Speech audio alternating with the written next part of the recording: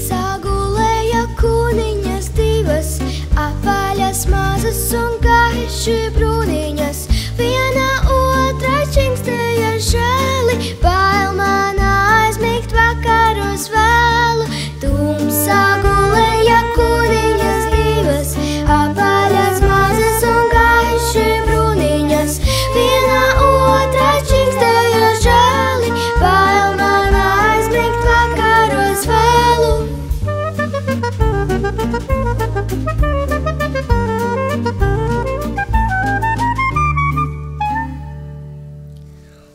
Otrā sacīja uztraukusies, nečingsti daudz un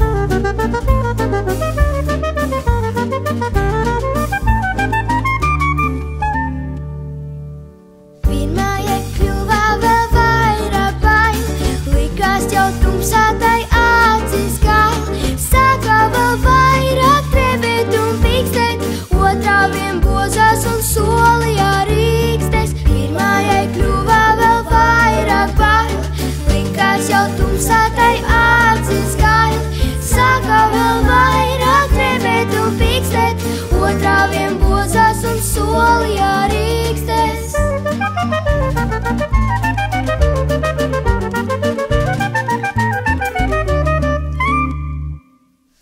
Uzlēca saule un nakts bija cauri, pamodās divi.